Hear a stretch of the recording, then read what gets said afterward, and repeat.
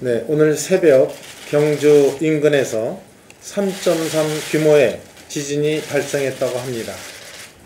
피해가 없을 것 같아 다행이지만 어, 국민 안전 등 관계 당국은 방심하지 말고 혹시 있을지 모르는 여진 대비 및 2, 3차 피해 대책에 만전을 기해 주시기 바랍니다. 사드와 관련해서 한 말씀 드리겠습니다. 어제 말씀드렸지만 더불어민주당 의원들의 사드 배치와 관련한 4대주의적 방중에 대해 거듭 말씀드리지 않을 수 없습니다. 민주당 의원들은 우리나라의 북한 핵미사일을 방어하는데 현재로선 다른 대안이 없는 사드 배치에 대해 본인들의 입장은 한마디도 하지 않은 채 일방적으로 중국 측에 훈계만 들었다고 언론에 보도되었습니다. 중국 고위 관료와 관변 전문가들을 만났다고 하는데 정작 본인들의 주장은 한마디도 하지 않고 사드 배치에 반대하는 중국 측의 입장만 일방적으로 듣고 대대적 홍보에 이용되었습니다. 더불어민주당에서는 어처구니 없게도 이런 행태를 정부 라인이 못하는 일을 대신했다는 식으로 말합니다. 우리 대한민국의 국가 안보를 위해 핵심적인 군사 주권적 사안을 굴욕적 방법으로 구걸하듯이 매달리는 것이 과연 국가와 국익에 무슨 도움이 되었는지 중국 정부의 정치적으로 이용만 된 것이 어떻게 정부를 대신한 것인지 정말 통탄스러운 마음을 감출 길이 없습니다. 민주당의 사실상 대선 후보인 문재인 전 대표에게 촉구합니다. 7명의 민주당 의원들의 사대주의 외교를 당장 중단하도록 귀국시켜 주시고 중국을 방문 중인 민주당 의원들은 귀국하는 즉시 태영호 전 북한 주영 공사를 만나 북한의 실상에 대해 들어보기를 권유합니다. 국가 안보를 놓고 흥정이나 거래가 있을 수 없습니다. 대한민국의 자의적 조치인 사드 배치는 군사 주권적 사안이며 반드시 필요한 일이므로 정부는 이 같은 야당의 무분별하고 줏대 없는 행동에 흔들림 없이 신속하게 배치를 추진해야 할 것입니다. 개혁보수 신당, 중앙당 아, 창당 발기인대와 관련해서 한 말씀 드리겠습니다. 어제 저희 새누리당에서 탈당한 의원들이 신당 창당을 위한 발기인 대회를 가졌기에 한 말씀 드립니다.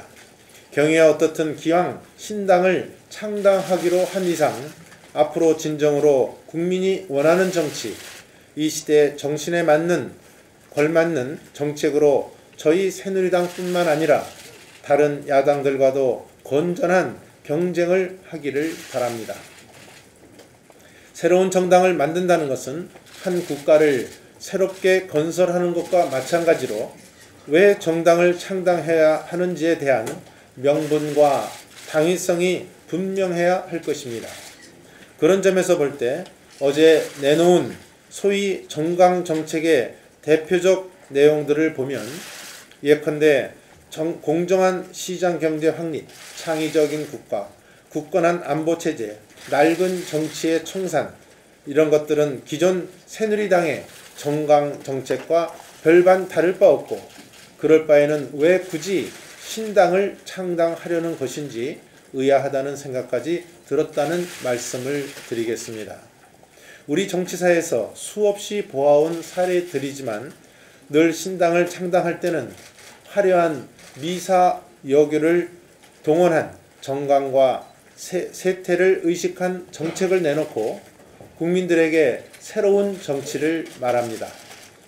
그러나 그러한 화려한 말은 누구나 할 수 있는 것이고 수없이 들어온 것이지만 중요한 것은 그런 정강 정책을 실천할 집단의 정체성과 구성원의 성격입니다.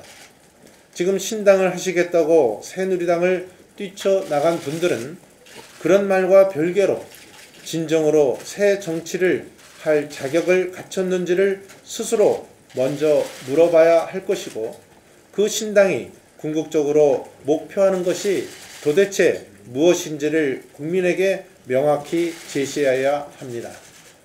본인들 뿐만 아니라 일부 핵심 인사의 경우 선대부터 몸담아왔던 새누리당에서 치열한 혁신과 변화의 노력은 제대로 해보지도 않은 채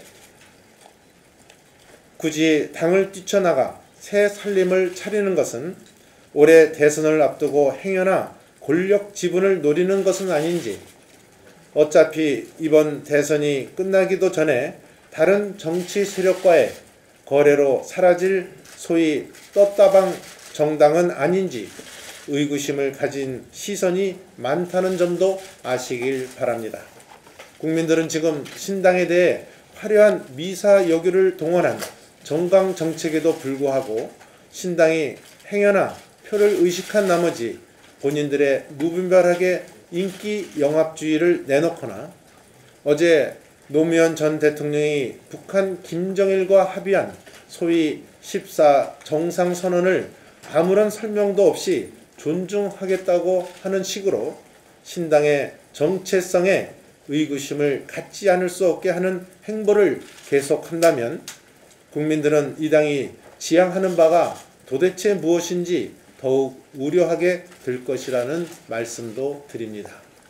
본인이 몸담고 있던 당이 지지율이 낮아지고 당내 혁신이 어려워졌다고 탈당을 해서 다른 당을 새로 하나 만든다고 해서 그러한 사태에 대한 책임은 없어지는 것은 아닙니다.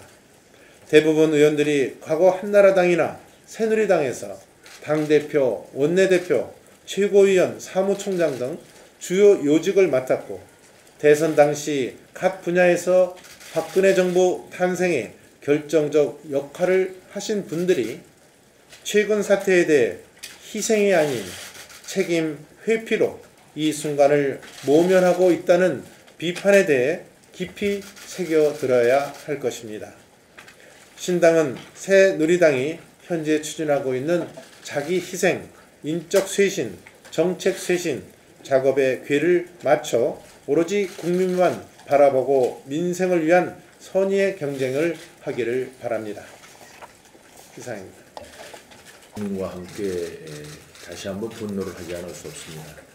국민들의 70%가 사드 배치를 찬성을 하고 그에 따라서 혈맹인 어, 미국이 방어용을 어, 방어용 어, 그 시설을 배치하는 면에 대해서 우리 모두 다 알고 있는데 결국은 중국의 홍보 논리에